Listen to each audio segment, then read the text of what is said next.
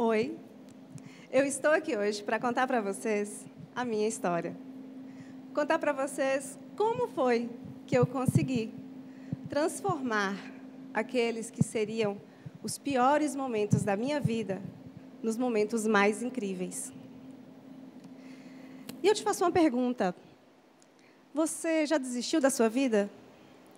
Já achou que o seu sofrimento não tinha mais solução?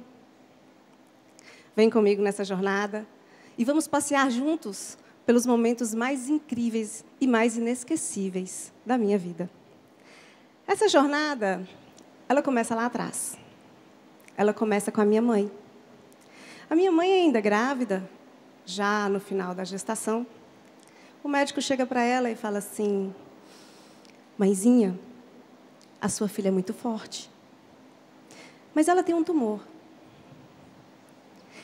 Ela não vai alcançar os seis meses depois que ela nascer.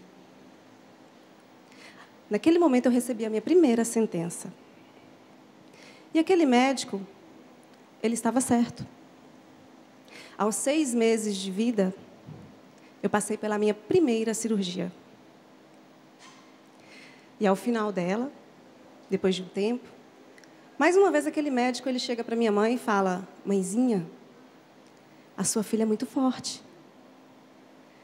Mas ela não vai chegar nos sete anos. É o máximo. O tumor ainda está aí. Naquele momento, a minha segunda sentença e também iniciou uma infância muito restrita. Sempre entrando e saindo dos hospitais, as dores elas eram sempre constantes. E eu me lembro que na maioria das vezes eu ficava sentada na arquibancada vendo meus amigos brincarem, se divertirem, eu não podia, eu não podia correr. E sete anos se passaram. E aquele médico ele estava certo. Mais uma vez. E eu me lembro que sentada, esperando a minha vez de ser atendida, com meu pai ali do meu lado, Olhei para ele e vi aquele sofrimento estampado no rosto, a dor, o cansaço. Qual é o filho que não quer ver o pai bem, não é verdade? E eu queria ver o meu pai muito bem e muito feliz. Então eu olhei para ele e falei assim: pai, vamos embora. Pai, vamos para casa.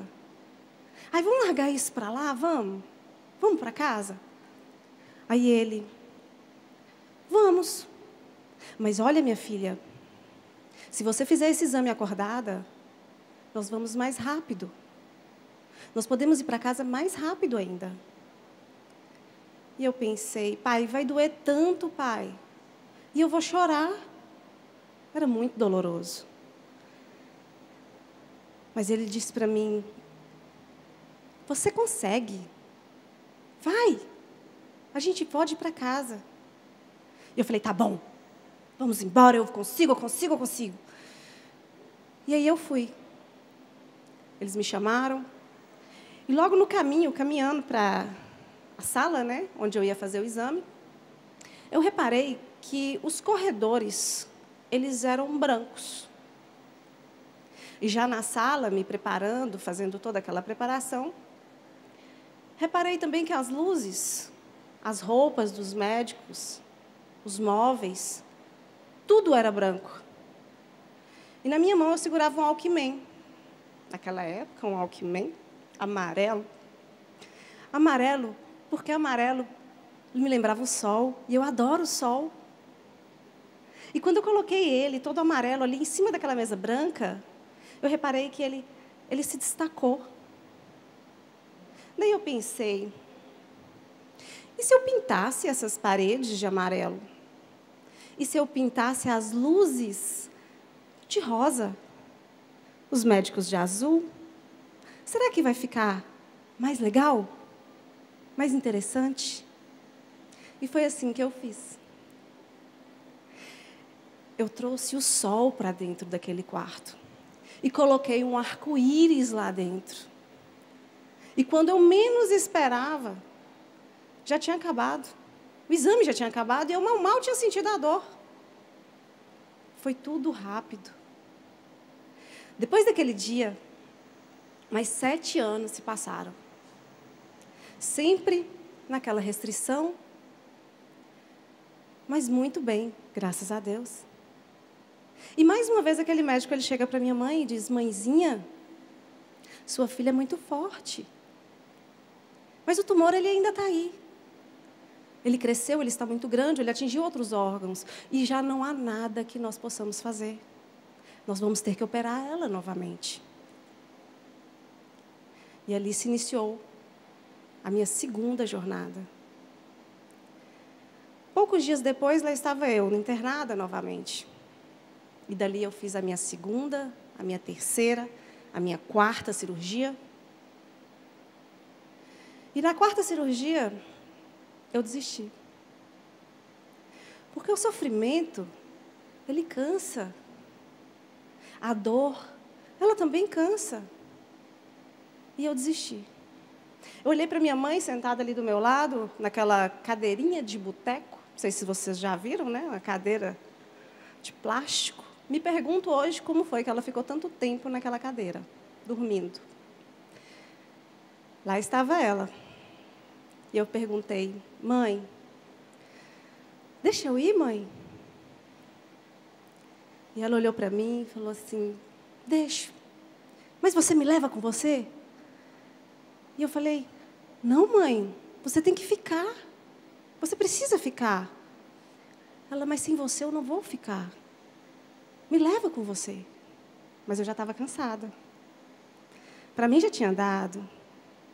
Eu não queria mais. E eu desisti. Naquele momento eu desisti. Alguns dias depois eu entrei em coma. E algumas semanas depois eu acordei. Quando eu acordei, eu já não comia mais. Parei de comer, parei de beber, parei de andar, parei de falar.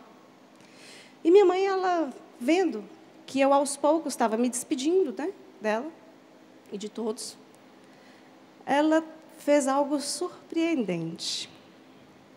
Você já foi desafiado? Eu fui desafiada pela minha mãe. Ela pegou um cartaz enorme, muito grande, e colocou na parte mais distante do meu quarto, na parede mais longe. E eu não conseguia ver o que estava ali. Quando eu acordei, adivinha o que aconteceu? Eu falei. Eu conversei. Mãe, que é aquilo? E ela, não sei. Da cadeirinha de boteca, ela olhou para mim, não sei. Vai lá, vai lá e olha. Eu falei, mãe, mas como? Como que eu vou lá? Eu uso fralda. Eu não sei andar. Se vira. Tá bom. Nos dias que se passaram, eu voltei a me alimentar. Voltei a conversar, sentei, tirei a fralda, sentei na cadeira de rodas e lá vai eu na cadeira de rodas. E fui até a parede. Me lembro da mensagem que eu li que estava escrita lá, naquele cartaz enorme. Estou na arquibancada da vida torcendo por você. Naquela hora eu falei: não, não é mais o porquê, mas sim por quem. Por quem eu estou aqui? E olhei para minha mãe de novo naquela cadeirinha e falei: é por você. E eu vou. Voltei a andar, aprendi a andar novamente. E depois daquele dia, eu passei a frequentar diariamente a brinquedoteca. A brinquedoteca era a salinha da oncologia pediátrica, onde eu me encontrava com os meus amiguinhos, os, os amiguinhos, os coleguinhas que passavam pela mesma situação que eu. E eu me lembrei daquele dia lá atrás, com sete anos, que eu coloria aquele quarto. E eu falei, vou dar um pincel para cada um. E ensinei cada um deles a colorir. E aprendi com eles também. Porque nós não éramos mais pacientes, nós éramos príncipes, éramos princesas, guerreiros, ninjas. Não era um hospital, era um castelo, era uma floresta. E nós lutávamos contra tudo, contra todos, contra toda dor. Era incrível. Incrível é que nós compartilhávamos os nossos momentos, os nossos sonhos, os nossos desejos. O que você vai fazer quando isso acabar? Qual o sonho, nós compartilhávamos.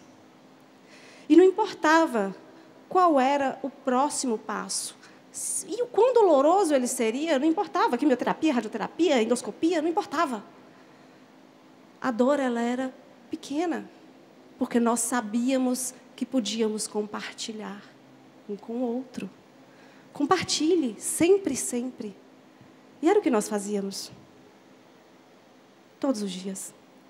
E aquele médico, ele mais uma vez chegou para minha mãe. Mãezinha, sua filha melhorou. Ela está muito bem. Leva ela para casa. Pode levar ela para casa. E eu me arrumei, vesti a minha calça jeans, toda linda. Ah, pensando numa pessoa feliz. Minha mãe. Porque ela deu um pulo daquela cadeirinha de boteco que vocês não acreditam. E ela veio, me abraçou e nós vamos embora e vamos embora e fomos para casa. E eu prometi, quando eu saí dali, porque eu estava realizando meu sonho. Sabe qual era o meu sonho? Você faz ideia de qual era o meu sonho? Era ver o sol. Era sentir ele tocar na minha pele. Já tinha mais de oito meses que eu não sabia o que era isso. E quando eu saí lá fora com a minha calça jeans, que ele tocou a minha pele, eu falei assim: eu vou aproveitar cada minuto, cada momento da minha vida, cada segundo. E eu voltei para casa, para minha família, para os meus irmãos. Mas uma semana depois, lá estava eu voltando, piorando de novo. E naquela volta, enquanto eu e a minha mãe estávamos indo de novo para o hospital, minha mãe chegou para mim e falou assim: Aí é que a gente precisa passar ali. Nós precisamos nos despedir de alguém. E eu falei: Quem, mãe? Ela: Não, é muito rápido. E aí nós entramos em uma igreja. E lá da porta da igreja eu vi bem lá no fundo, bem lá ao lado do altar, a imagem de uma das minhas amiguinhas que brincava comigo na brinquedoteca, Daiane. Era a imagem dela. E aí minha mãe virou para mim e falou assim: Minha filha, ela desistiu. E eu me lembrava, naquele momento, dela falando comigo: A Iesca não desiste. Se você desistir, acabou. Daiane sempre falava isso comigo. Naquele momento eu parei e, em silêncio, eu me despedi dela, da minha amiga, e prometi para ela: eu não vou desistir. No outro dia, lá estava eu de novo no hospital com mãe. Enquanto ela estava fazendo aquela parte burocrática, resolvendo as questões do hospital, eu resolvi correr, sair correndo pelos corredores, e eu escutei uma voz, era a voz de um dos meus amiguinhos, João Marcos. Eu escutei a voz dele, aí eu saí correndo, falei: cadê João? Cadê João? E vi a mãe dele parada na porta de um quarto. Cheguei para ela e falei: Tia, ei, cadê João? E ela está ali. Olha lá ele.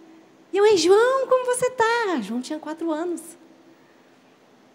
A leucemia já tinha atingido ele muito forte. E eu, ei, João, eu voltei para casa, João, eu estou em casa. E ela virou para mim e falou: Ah, Iesca, nós também. Estamos esperando uma vaga na pediatria para a gente subir. E eu, tia, eu vou subir também. A gente se encontra lá em cima, se encontra, João. E ele se encontra, a gente vai se ver lá. Falei, então tá. Voltei para minha mãe. Algumas semanas depois, eu subi com ela na pediatria, fiz a mais uma cirurgia, outra cirurgia. E assim que eu consegui andar de novo, a primeira coisa que eu fiz, sair correndo pelos corredores, procurando. Encontrei tia Isa, uma enfermeira, que já cuidava da gente. Ei, falei, tia Isa, cadê João, tia? E ela ajoelhou e virou para mim e falou assim: Ó, oh, minha princesa, João não subiu. João deu a vaga dele para você, para que você subisse.